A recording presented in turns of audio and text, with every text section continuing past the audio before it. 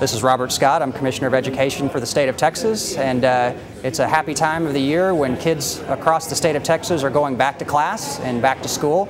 As a parent myself, I'm absolutely thrilled that my children are back in school today. Um, but we need to be uh, cautious. Uh, the H1N1 virus is a significant threat, and we as parents first need to be vigilant in monitoring our kids' health. And if our children are sick and have a fever, they shouldn't be in school. Um, this is not the year to worry about the perfect attendance award.